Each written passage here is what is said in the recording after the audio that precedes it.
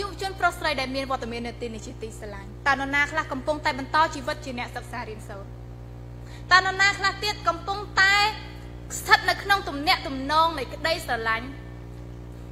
ហើយអ្នកណាខ្លះទៀតតែកំពុងតែគិតថាបំពំចិត្តឈានចូលមកដល់ហើយ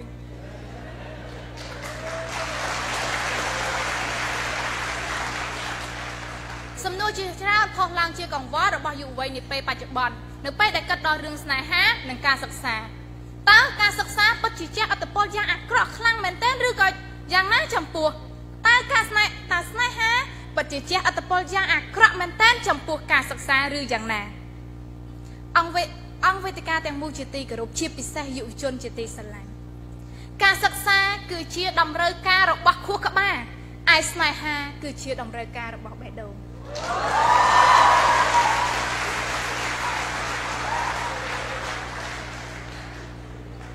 ការបង្ខំខ្លួនឯងឲ្យជ្រើសរើសរវាងស្នេហានិងការសិក្សា គឺជាការតស៊ូមតិជាងក្រុមស្របនិងក្រុមបដិសេធទៅទៀតព្រោះវាជាការតតស៊ូមតិរវាងខួរក្បាលខ្លួនឯងនិងបេះដូងខ្លួនឯង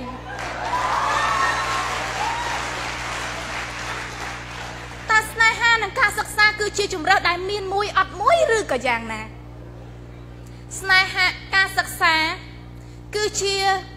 ជារឿងចម្បង ជារឿងអតិភិប ដែលយុវវ័យត្រូវតែចាប់យកដើម្បីអភិវឌ្ឍសមត្ថភាពរបស់ខ្លួនប៉ុន្តែ ស្នេហាគឺជាក្តីស្រឡាញ់រវាងមនុស្សពីរនាក់ដែលចូលមកក្នុងជីវិតរបស់យើងដែលมันអាចកំណត់បាននរណាអាចហាមបាននរណាអាចហាមមិនឲ្យខ្លួនឯងធ្លាក់ក្នុងអន្លង់ស្នេហ៍បានសូម្បីតែអ្នកកំពុងនិយាយនេះក៏មិនអាចហាមខ្លួនឯងបានដែរ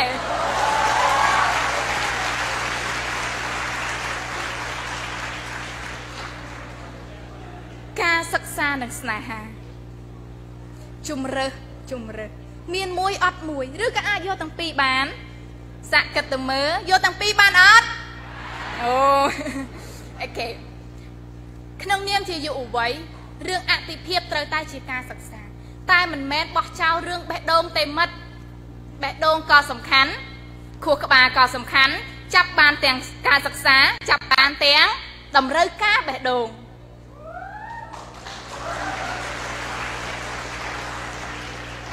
ស្នេហាអាចคล้ายទៅជាថ្នាំពុលតែស្នេហាអាចคล้ายទៅជាថ្នាំពៅបើយើងប្រើវាឲ្យត្រូវ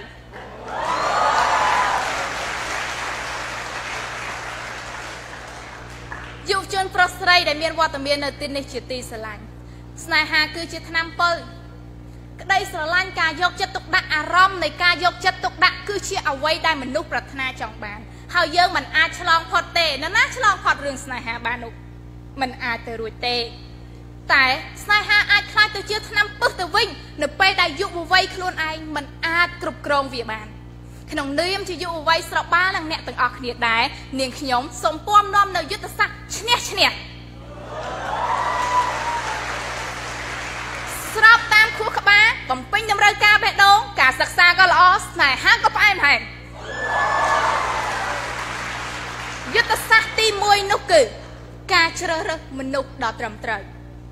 ការជ្រើសរើសមនុស្សដ៏ត្រឹមត្រូវមិនមែនជារឿងងាយទេអញ្ចឹងហើយទៅយុវវ័យរបស់យើងពេលខ្លះមានស្នេហាលើសពី1 2ឬក៏3បានប្រមាណដងទៅជោគជ័យហើយនោះមនុស្សដែលត្រឹមត្រូវ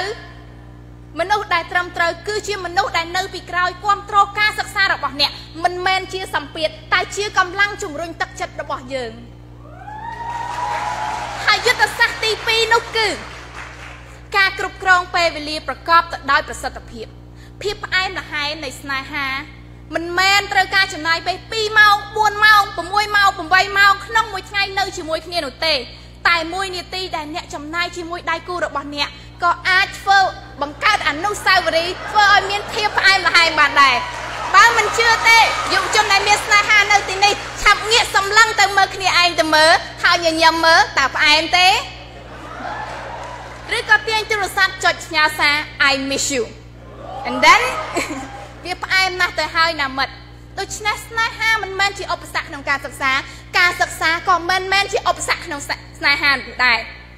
សារចុងក្រោយរបស់នាងខ្ញុំនេះគឺមានស្នេហាខ្វះការសិក្សាភាពផ្អែមល្ហែមមិនគង់វង្សនោះទេសូមអរគុណ